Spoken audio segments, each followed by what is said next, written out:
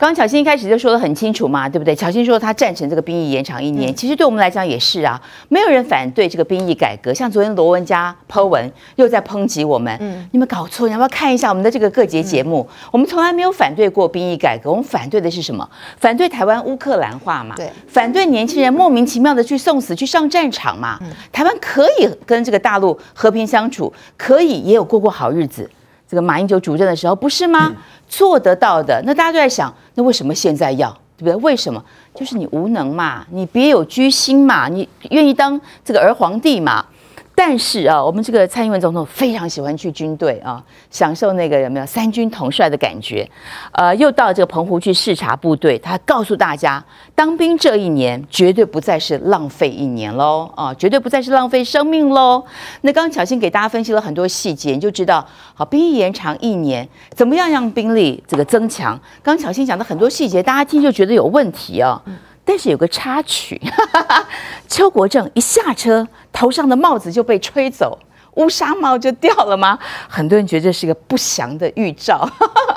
好，接下来是不是还要他的这个随同小跑步，赶快把它捡回来哦？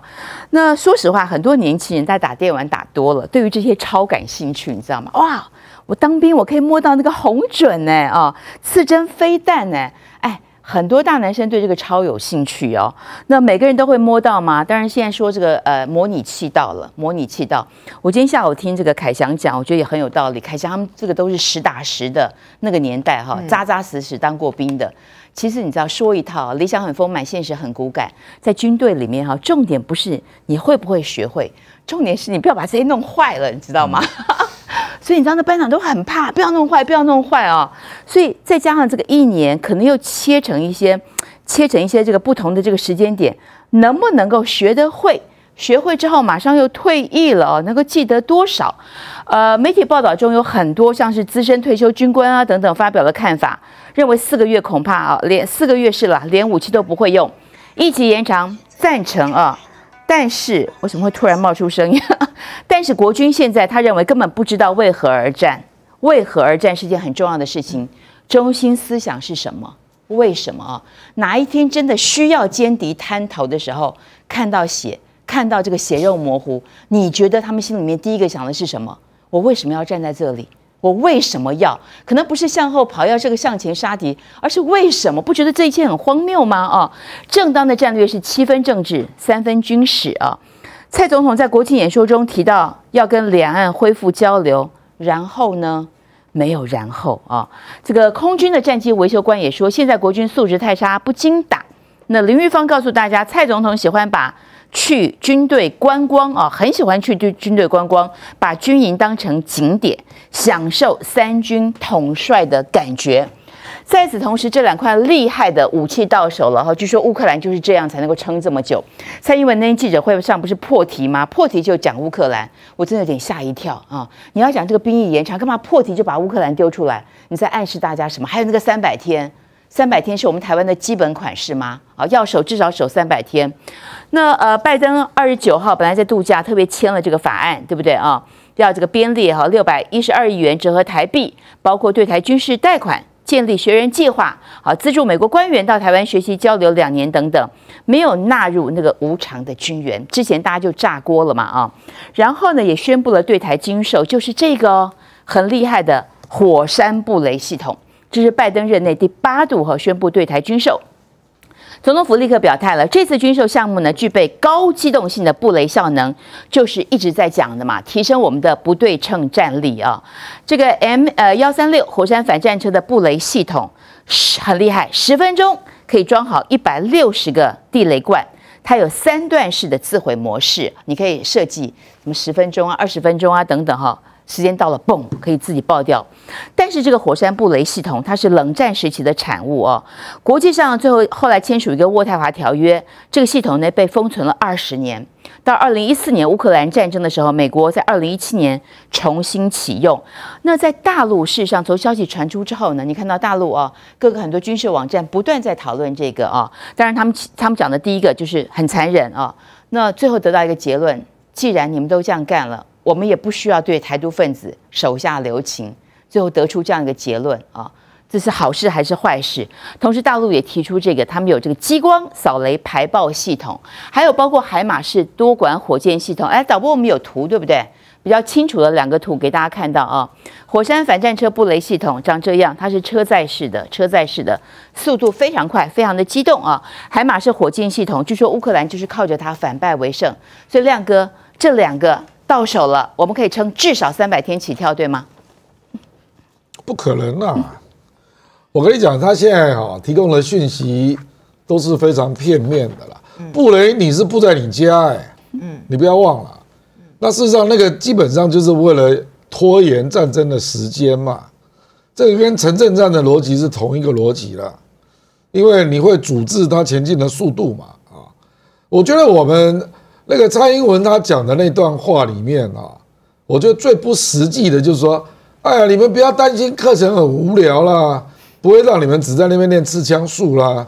然后他就说，红准啦、刺针啦、标枪啦、无人机啦，都会让你摸一摸。请问你做得到吗？嗯，我们的红准啊，我跟你讲啊，红准陆军二零二零年刚采购了五千枚啊，哦，这我们自己做的啊。我们第一年进去的 E U E 的兵可能就超过两万人呢。那刺针跟标枪都只有几百枚，请问如何让大家操作得到？嗯，你光你那个练习弹够吗？他现在是买了这个模拟器嘛？啊，模拟器没有弹嘛？对，没有弹嘛，所以你是拿一拿摆拍是不是？对，差不多，跟吴一农一样。我跟你讲啊，然后又传出一些非常不确实的讯息嘛，比如说哦，红准啊，就可以把那个共军的坦克给打掉。嗯，这是笑话哎！我跟你讲啊，现在一般的坦克炮是打三公里啊。我们红准只能射四百公尺，你有办法接近到四百公尺吗？你还没有接近到，你就被轰掉了。对对，我说你还传播一些错误的军事的讯息，在欺骗老百姓呢。红准根本不可能打坦克，你有可能打装甲车啦，可能打敌方的车辆等等啊。嗯，可是绝对不是装坦克啦。那这种讯息，甚至连王定宇都在误导。对他说：“你只要有红准就可以打共军的坦克，我觉得很非常可笑啊！啊，为什么台湾急着买标枪？因为标枪的是射程是四点五公里啊，我们的红准是四百公尺，你还这边吹牛成那样？我觉得台湾最可怕的现在的情况是啊，就把自己说，哎呀，你这个一年兵哦，你大概就会变成这个原子小金刚啊啊等等啊啊，实际上一年义务的兵啊。”我认为到最后真正学到了一定只有打靶。嗯，打靶。他他不是说一年下来要让你打八百发吗？打靶。我跟你讲，事实上你就是步枪兵啦。我讲白了啦。那巧金刚讲了说，滩头决战有那个海岸守备旅嘛？事实上义务兵是有一半的人要去海岸守备旅啊。你认为海岸守备旅靠打靶步枪兵你就可以取胜了？怎么可能嘛？我跟你讲，到时候人家登陆的是什么人啊？是特战兵呢，对，一年的至少训练三年以上的，一年的对三年的，是啊。然后他手上可能还有手榴弹啊，各式各样的更长距的武器啊。我们有这个火山布雷系统，不，火山布雷系统不是单兵嘛？你讲的是武器嘛？那布雷你是要布地雷嘛？那这个布地雷当然就是针对要对方要迟滞它的速度嘛。对，可是那个绝对不是义务兵在使用的啦。有可能就是小金刚刚讲，你在滩头啊，阻挡阻挡不住了，他又进来了嘛？对，那布雷系统才会出来啦。对啊，第二波，那是第二波啦。就是已经我讲的残忍一点，先先挂了一一堆了。当然是你就是刺，你就是菜鸟兵，人肉盾牌去拖延对方的速度嘛。嗯嗯。你主要的，你主要的目的是什么？让我们的那些机动部队啊，可以整顿好嘛。把装甲啦、坦克啦等等机动部队可以整顿，争取时间给他们嘛。那你就在滩头准备牺牲的嘛。这个任何学军事的人一看就知道逻辑是这样啊。当然，你如果抽签运气好，就是去守重要设施了，守台积电。呃，是嘛 是嘛啊，那那就是爽兵呐，爽兵呐啊。可是你如果是抽到了海岸守备队，对不起啊，因为我昨天碰到那个树将军啊，他就跟我讲说，以前他就管其中一个旅啊，那个就是要挖壕沟的，要建碉堡的，那准备在壕沟里面大概好几天不能洗澡，要跟对方死对决的了。你这样讲啊，很多人的这个不安全感又来了，因为以前这个没有疫苗的时候，这个官员都先打嘛啊，所以这个你刚才讲的爽兵去守台积电的，就是到时候又抽签嘛啊。我跟你讲，到时候抽签官说又一堆，是不是？我就跟你讲很多事情呢。我这我觉得赖清德真是倒大霉了，因为二零二四年一月开始嘛，啊那我不知道总统大选选的是哪一天呢啊？如果总统大选选的是一月二十几号啊，他真的就倒大霉。嗯，为什么？因为你进去之后就会发现，完全都不是大家预期的样子啊。哦，对对对对，哎，对耶，那还得了啊？你以为新闻不会出来吗？就不断的投书啊，当然是啊，所有的妈妈阿妈啊，都会不断打电话。那不是你倒大霉吗？对，所以所以我就说啊，我跟你讲，绝对做不到你的课程的多元化了，因为我们的训练的装备不够嘛，远远不够。而且他还讲的是随身的那种导弹，对，吹牛不要吹成这样啊。那蔡英文，我觉得，哎，你不要吹牛成这个样子啊。我们的刺针。标枪才没才买几枚啊？嗯，到时候海岸守备队的人是超过两万人呢。第一期可能没那么多了，至少也有一万了。那这些人要摸过才算啊，要用过才算了。所以我跟你讲，到最后真的就只有打靶了，就打靶。啊那步枪兵能干嘛？我跟你讲，两岸决战的决胜负绝对不是步枪兵啊。但但看在这个薪资提高三倍的这个份上啊，那这一点我要我就更生气了。我跟你讲，他提高三倍变成两万了，对，已经比入关的学生高了。嗯，哎，人家是职业军人呢，人家是一辈子要投入这个事业。